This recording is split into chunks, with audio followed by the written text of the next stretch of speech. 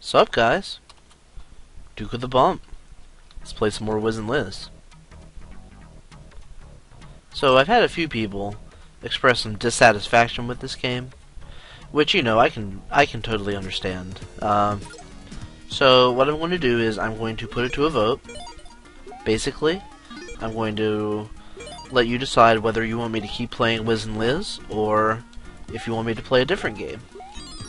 Just post a comment in the comments for either this video or the next video, because honestly, the apprentice levels are probably only going to take a couple videos. Uh, post a comment in one of those, stating whether you would like to see more Wiz and Liz, or a different game of my choice. Now remember, this is important, so listen carefully. It's a binary poll. You have two options. Option number one, Duke of the Bump keep playing Wiz and Liz. Option number two, Duke of the Bump plays a different game. And that's it. Oops. Yeah, the door kind of caught me by surprise there. Again. So if you go posting in the comments, Hey Duke, why don't you play Battletoads? If you post that, then that counts as a vote for Wiz and Liz. I'm sorry. Those are the rules. So, as you can tell, this is just a really basic tutorial level. Uh, you don't have to collect all the wabbits, there are no exploding wabbits, no invisible letters. It's really kind of a walk in the park. Which is a good introduction to the game for a newbie, I guess. I really should have done these levels first, but damn it, it happened again. But I totally overestimated how long it would take me to beat Wizard. Like, it's crazy. Well, four levels and I only have two fruit. Might as well mix them. Somebody was asking in the comments if anything happens when you mix two of the same fruit. And yeah, they cast spells just like any other combination. It just hasn't come up until now. Awesome. So yeah, I really should have done Apprentice first. Just just because it's only going to take a couple videos. I can probably almost cram the whole thing into one video if I really tried. But, uh... Yeah, I mean, I don't really necessarily know if I want to do Sorcerer, because it can get kind of tough towards the end. But, I mean, I will, if you guys want to see more of it. I mean, I know I've only cast, like, 10% of the spells in this game. Which really, you've already seen most of the interesting ones. I mean, there are a couple other mini games, but not really anything to write home about. There's a series of collectibles you can get in this game. Let's see, I could say this banana to open the magic shop, but honestly, on Apprentice, it's probably not going to last long enough to matter.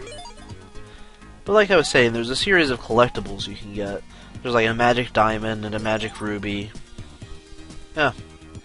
Apparently there are numerous combinations that give you nothing. There's not a sausage, there's diddly squat, and there's this. But yeah, there are collectibles to collect. You obtain them by casting certain spell combinations. Um, the most expensive spell in the game, Mushroom Mushroom, gives you the last collectible gem. There's four of them. And when you collect all four of them, it's really nothing that special. I hate to say. I, I, I don't even remember what it is. I think it was so disappointing when I finally got all of them that I just blotted it out of my mind. It, like, gives you the ability to, uh, to do the bonus round whenever you want, or it gives you all the bonus letters, or, or something like that. I really should have looked it up. But yeah, it's not really worth worth doing. But I mean, if I was going to do a full, proper LP of Wiz and Liz, I'd probably do it just to just to say I did. Let's see. Strawberry, orange. Well, that just gives me Splat the Dudes, which you guys have already seen a couple times.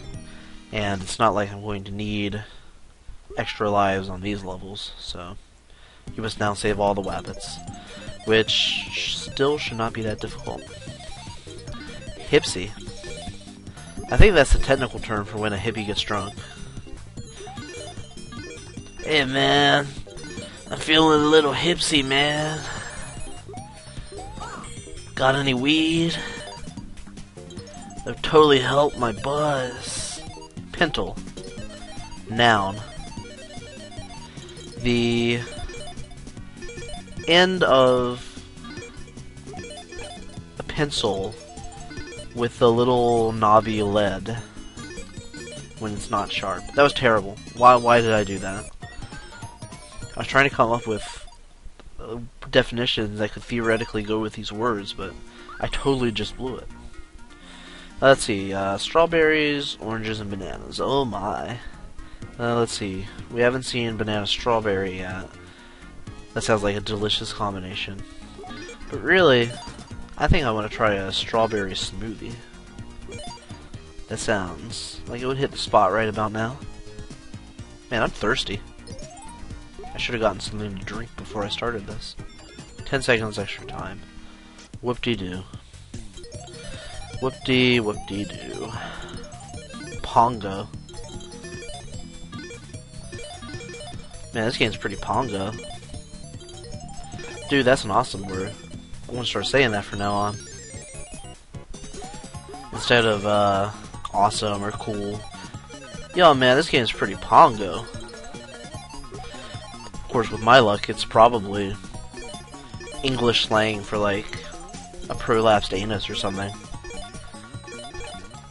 Wow, I'm actually running out of time on Apprentice? I'm really slacking off. Uh-oh. I got it. So yeah, I said that the time icon, the 30 second time icon, has like a little hammer on it. And somebody said that it's supposed to be a T for time.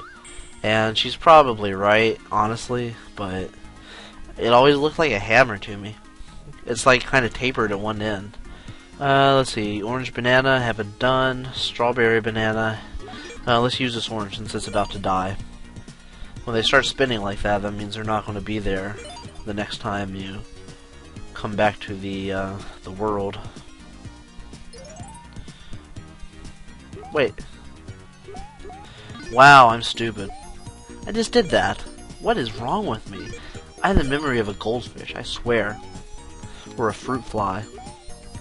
Whichever is more insulting. Oh, there's that collectible I was talking about. Stupid magic diamond. Yay. Collect all four and win something really crappy.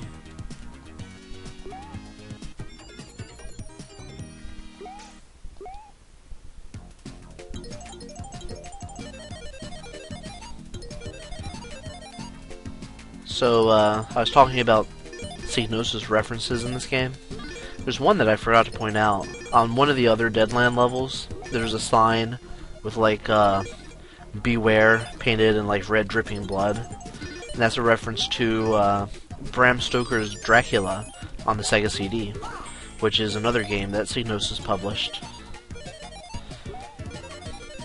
Man, I'm a nerd. But, uh, it's true.